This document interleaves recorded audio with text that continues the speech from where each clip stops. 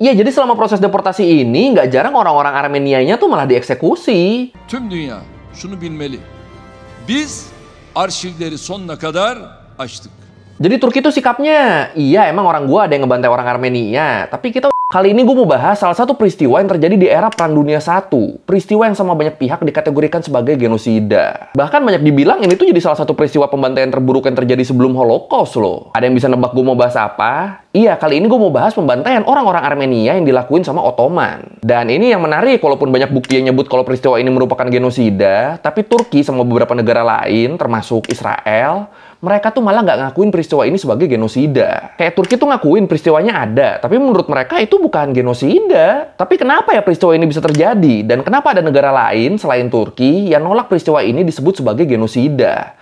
Nolak peristiwa ini disebut sebagai pembantaian besar-besaran buat ngebersihin etnis. Ya udah kalau gitu, ayo langsung aja kita bahas pembantaian orang-orang Armenia oleh Ottoman. Salah satu pembantaian terburuk yang pernah dilakuin sama Turki. Ini benar genosida apa bukan nih? Di Learning by Googling. Oke, buat yang mungkin belum tahu, Armenia sekarang dia tuh kan negara di Asia Barat yang relatif punya teritori kecil ya. Tapi ternyata zaman dulunya nama Armenia tuh justru dipakai buat merujuk ke wilayah yang relatif luas. Nama Armenia sendiri pertama kali dipakainya tuh sama Kekaisaran Arkemenid di sekitar abad kelima sebelum Masehi dipakai buat merujuk ke wilayah yang sekarang jadi negara Armenia, sebagian besar wilayah timur Turki, Azerbaijan, sama wilayah utaranya Iran. Ya kurang lebih kayak gini lah perbandingan wilayah Armenia yang dulu sama sekarang. Yang merah tuh wilayah Armenia zaman dulu, yang kuning itu yang sekarang. Ini kan jauh banget ya bedanya ya. Terus wilayah Armenia juga sempat berdaulat dan berdiri jadi kerajaan sendiri. Kerajaan Armenia di sekitar abad kedua sebelum Masehi. Tapi karena wilayah mereka yang luas dan strategis banget kan, jadinya Armenia tuh sering banget jadi inceran kerajaan-kerajaan lain. Kayak kerajaan Yunani, Romawi, Bizantium, ya pokoknya banyak lah yang ngincar mereka. Terus waktu agama Kristen mulai muncul, Armenia tuh jadi salah satu tempat di mana agama Kristen berkembang. Bahkan gereja apostolik Armenia itu tuh jadi salah satu entitas kekristenan tertua di dunia loh. Terus habis itu wilayah Armenia yang sempat kepecah-pecah itu kemudian berhasil nyatu lagi di era Khulafaur Rasidin yang terus dilanjutin lagi sama dinasti Umayyah. Terus dalam perkembangannya Armenia berubah jadi principality, berubah jadi kepangeranan otonom yang diakuin sama dinasti Umayyah sama Bizantium. Dan walaupun sempat beberapa kali ada pergantian kekuasaan, tapi bisa dibilang wilayah Armenia tuh emang udah dari lama jadi wilayah otonom di bawah dinasti Islam. Termasuk waktu kemudian Ottoman sama dinasti Syafa Safawid berkuasa di wilayah Armenia di abad ke-16. Dan di situ mereka ngebagi wilayah Armenia jadi dua nih, jadi Armenia Timur sama Armenia Barat. Nah, kalau menurut berita Nika, walaupun sering ganti-ganti penguasa, tapi identitas Armenia dari dulu tuh emang selalu bisa dipertahanin karena ikatan komunal masyarakatnya yang kuat banget. Jadi karena masyarakatnya solid, mau mereka dikuasain siapa pun, mau mereka jadi wilayahnya kerajaan mana pun, identitas mereka tuh tetap nggak hilang. Ditambah lagi di era Ottoman, di sana tuh ada satu kebijakan otonomi yang disebut sistem milet. Sistem di mana kelompok-kelompok minoritas tuh bakal dikasih hak otonomi buat ngembangin aturan mereka sendiri. Makanya waktu itu walaupun ada di bawah kekuasaan dinasti Islam, tapi orang-orang Armenia tuh tetap banyak yang meluk Kristen dan gereja apostolik Armenia juga bisa tetap eksis waktu itu. Nah ini kan sebenarnya bagus ya, tapi sayangnya walaupun udah ada sistem milet ini, bisa dibilang kehidupan orang-orang Armenia yang basicnya emang minoritas tuh ternyata tetap tertindas. Tertindas gimana? Jadi gini, masih menurut berita Nika, wilayah-wilayah yang dihuni sama orang-orang Armenia tuh adanya di Anatolia Timur yang mana di wilayah itu didominasi sama etnis Kurdi, yang sering kali dapat keistimewaan karena identitas keislaman mereka. Makanya sering banget waktu itu kalau ada apa-apa, keputusan pengadilan tuh cenderung memberatkan orang-orang Armenia dan berpihak ke orang Kurdi. Makanya nggak heran kalau akhirnya orang-orang Kurdi tuh jadi sering ngediskriminasi orang-orang Armenia. Terus selain di kawasan Anatolia Timur, sebagian kecil orang Armenia yang beruntung juga banyak berperan di sektor perdagangan dan keuangan Ottoman secara umum. Dan buat orang-orang Armenia yang nasibnya lebih beruntung ini, mereka tuh bisa hidup jauh lebih layak di kota-kota pelabuhan ya, bahkan sampai di ibu kota kerajaan di Istanbul. Ya, bisa dibilang sekelompok kecil orang Armenia yang sukses banget ini tuh mirip kayak kelompok Yahudi di Eropa lah yang emang dikenal sukses berdagang atau kerja di sektor-sektor keuangan yang pastinya vital banget. Dan akhirnya sama kayak nasib banyak minoritas lain di dunia, kesuksesan orang-orang Armenia yang sebagian kecil ini, ini malah nimbulin kebencian dari kelompok mayoritasnya pada iri yang mayoritas jadinya. Makanya jadinya banyak muncul narasi-narasi yang bilang kalau orang-orang Armenia tuh pencuri dan mereka bakal manfaatin posisinya buat kepentingan pribadi. Narasi-narasi kayak gini tentang orang-orang Armenia tuh nyebar luas tuh di sekitar abad ke-19. Dan ya ini juga yang kemudian jadi cikal bakal peristiwa pembantaian yang mau kita bahas. Ini mayoritas emang ya nggak di mana-mana ya kelakuannya ya. Together, the Armenians and the Turks lived for 800 years. 800 years in which things weren't perfect, but in which they lived side by side and managed to survive. Nah, ngelihat saudara sebangsanya yang ada di Turki ngalamin tindakan-tindakan diskriminatif dan dapat narasi-narasi negatif juga tadi kan. Karena mereka ngerasa prihatin ngelihat ini, akhirnya kelompok pemuda di Armenia Timur yang waktu itu dapat pengaruh dari Rusia, mereka nih mulai nyari cara biar bangsa Armenia bisa merdeka. Dan atas dasar motivasi inilah akhirnya lahir tuh dua partai revolusi pemuda Armenia. Ada Hencak sama Desnak Sutyun. Dua-duanya nih lahir di akhir tahun 1880-an. Dan sama kayak gerakan-gerakan revolusi lainnya, dua partai revolusi ini juga mereka ngelakuin aksi-aksi buat ngelawan Ottoman. Aksi-aksi yang kemudian sama pihak Ottoman dianggap sebagai upaya separatis upaya pengen misahin diri, upaya pemberontakan. Bahkan dua partai ini, dua kelompok ini mereka nggak ragu loh buat berperang di kubu Rusia yang waktu itu bisa dibilang lagi musuhan sama Turki. Jadi ya di tahun-tahun ini mulai ada perlawanan nih dari orang-orang Armenia, walaupun ya nggak semuanya ya. Soalnya ternyata walaupun ada masyarakat Armenia yang tergerak buat ngelakuin revolusi, tapi kebanyakan dari mereka ternyata tetap milih buat loyal sama Ottoman loh. Ini kan pilihan yang cukup mengherankan ya. Katanya mereka ditindas, tapi kok malah banyak yang nggak mau revolusi, malah banyak yang pengen tetap stay sama Ottoman, tetap stay sama Turki. Iya, kok malah pada gitu. Nah ini kalau menurut histori disebut, jadi walaupun komunitas Armenia di Ottoman sering dapat perlakuan nggak mengenakan, tapi di sisi lain ternyata komunitas Armenia di sana tuh bisa dibilang ngalamin perkembangan pesat di masa Ottoman. Termasuk yang gue bilang tadi, mereka jadi bisa punya kerjaan yang lebih bagus. Ya walaupun ini nggak semuanya ya.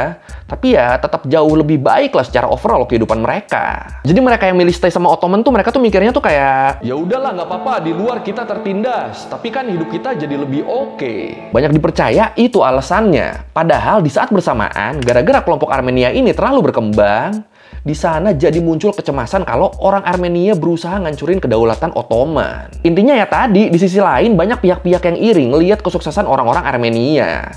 Banyak pihak-pihak yang nggak ikhlas nih. In 1893 and 1915, Ottoman Armenians rebelled against the Ottoman government. They joined two Armenian separatist groups, the notorious Dashnaks and Hunchaks. These two groups armed and paved the way for a Russian invasion of eastern Anatolia. Nah, masih menurut histori, bibit kebencian orang-orang Ottoman ke orang Armenia yang udah lama kependem akhirnya pecah di tahun 1894. Waktu itu masyarakat Armenia di kota Sasun mereka nolak bayar pajak karena menurut mereka itu terlalu berat. Dan penolakan ini dianggap sebagai perlawanan, dianggap sebagai pemberontakan yang sama pihak Ottoman kemudian dibalas dengan pembantaian ribuan orang Armenia di kota Sasun. Dan walaupun sempat dapat kecaman dari dunia internasional, tapi kecaman ini malah ngebikin otoritas Ottoman sama masyarakatnya jadi makin marah dan benci ke orang-orang Armenia. Bahkan satu tahun setelahnya, waktu masyarakat Armenia di kota Istanbul lagi ngegelar demo buat nuntut hak mereka, di situ pemerintah Ottoman malah ngebales dengan ngelakuin pembantaian besar-besaran ke komunitas-komunitas Armenia. Dan ini terus berlanjut sampai tahun 1896. Dan rangkaian pembantaian dari tahun 1894 sampai 1896 inilah yang akhirnya dikenal dengan nama pembantaian Hamidian. Merujuk nama Sultan Ottoman waktu itu, Sultan Abdul Hamid II. Peristiwa ini sendiri diperkirakan menewaskan antara 100.000 sampai 300.000 orang Armenia.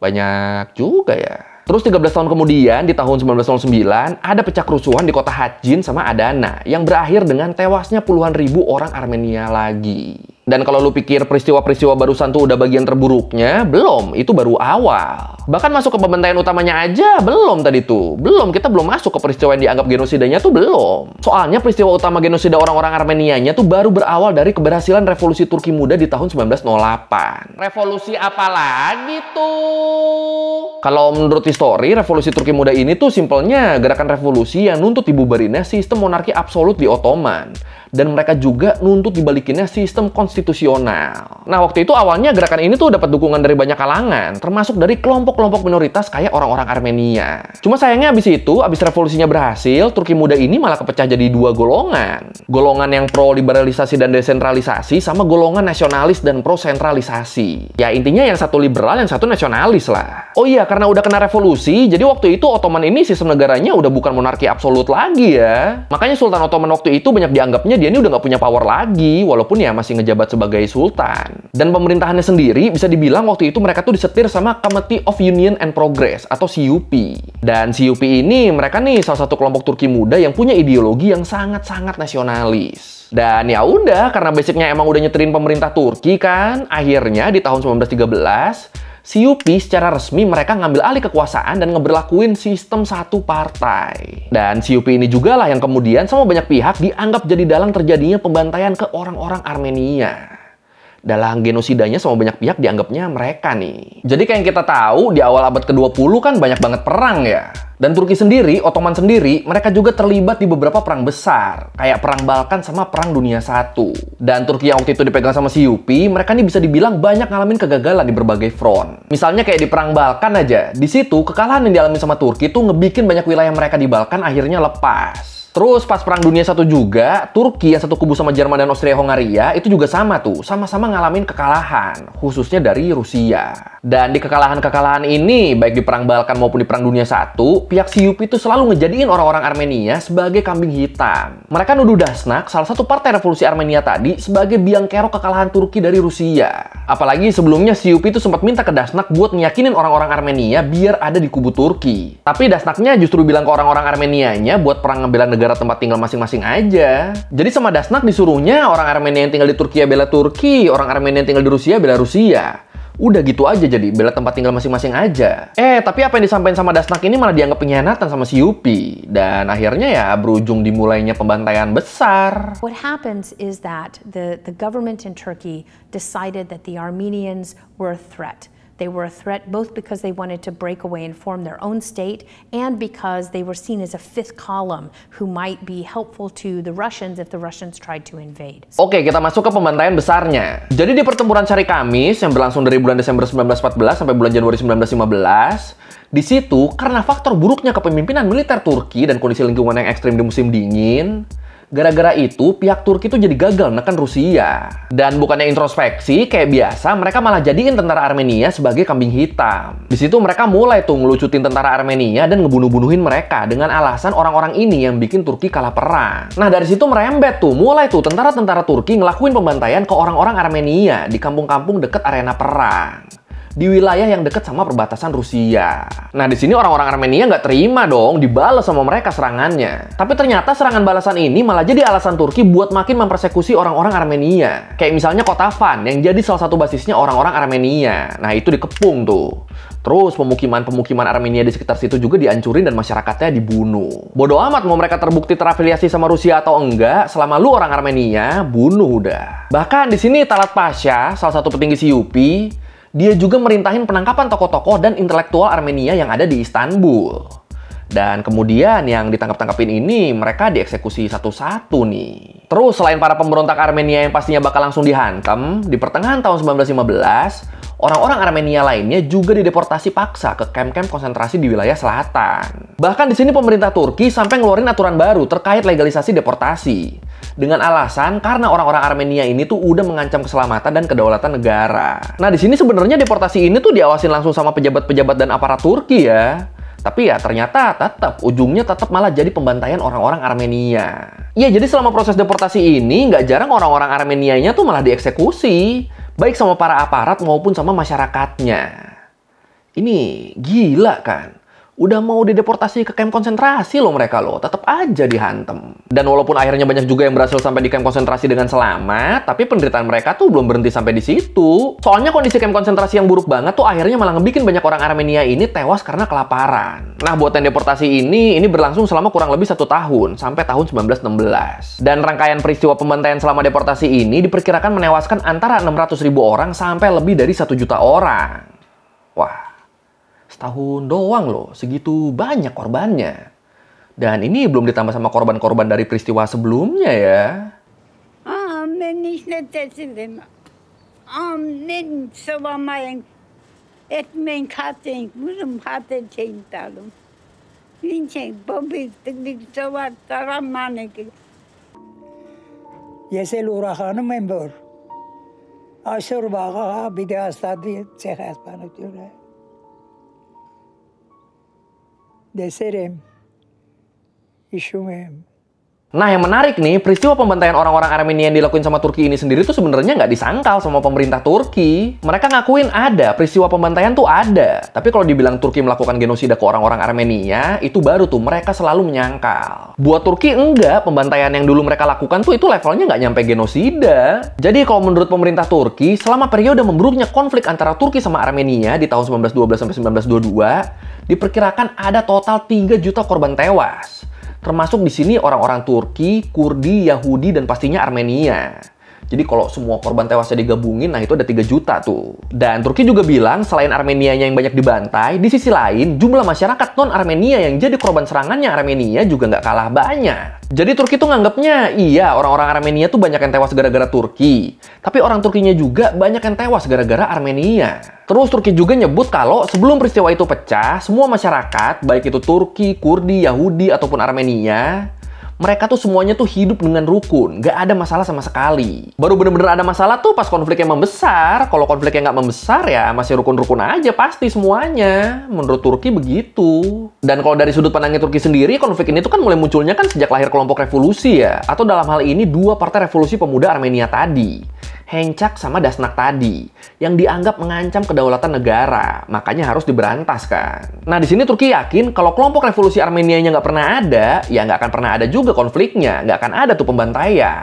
Turkey acknowledges the suffering of the Armenians, but believes that the death of the Muslims must be considered in this context too. According to Turkey, during the periods between 1912 and 1922, around 3 million people died, including Turks, Kurds, and Jews and estimates that around 300,000 to 600,000 were Armenians. Dan sikap Turki ini diperkuat sama pendapat banyak sejarawan, salah satunya Norman Stone, sejarawan Inggris yang nyebut kalau kelompok-kelompok revolusi ini tuh emang terbukti punya aliansi dan ngasih dukungan ke pihak Rusia, yang waktu itu jadi musuhnya Turki. Terus setelah konfliknya mereda, pemerintah Turki juga kan langsung ngakuin kesalahan mereka dan mereka mutusin buat ngeksekusi aparat-aparat dan pejabat-pejabat yang terbukti terlibat dalam tindakan kekerasan dan pembantaian selama proses deportasi.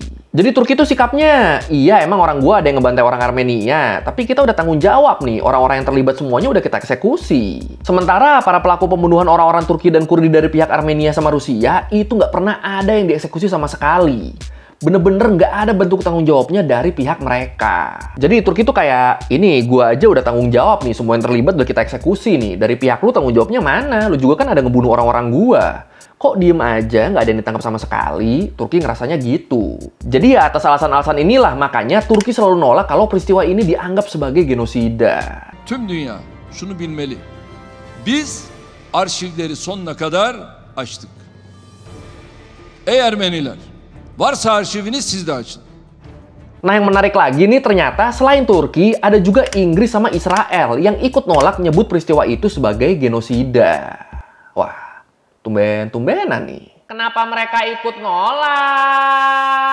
Jadi kalau menurut Dr. Hey Etan Koheniana Rocak, pakar kajian Turki di Moshe Dayan Center di Tel Aviv, dia bilang walaupun Israel sama Turki itu sering kali berseteru dan bersih tegang, tapi buat Israel, Turki itu tetap salah satu mitra yang menguntungkan. Nah, karena punya kepentingan kan nih Israel ke Turki, jadi ya pilihan mau ngakuin pembantaian Armenia ini sebagai genosida atau bukan tuh bakal punya dampak serius ke relasi Israel sama Turki. Kalau Israel ngakuin itu sebagai genosida, takutnya ke depannya malah jadi renggang kan hubungan mereka sama Turki kan. Takutnya hilang nih potensi cuannya ntar. Dan ya alasan yang sama juga dipakai sama Inggris buat nolak nyebut peristiwa pembantaian orang Armenia ini sebagai genosida. Apalagi kalau menurut The Guardian, hubungan antara Inggris sama Turki itu terlalu penting. Makanya walaupun secara etika Inggris ngerasa tindakan ini jelas-jelas genosida, tapi mereka tetap nggak mau nyebut peristiwa ini sebagai genosida. Dan ya dari pihak Turkinya sendiri kan mereka juga nggak pernah nyangkal peristiwa ini kan, ya cuma mereka nggak mau nyebut ini sebagai genosida aja udah.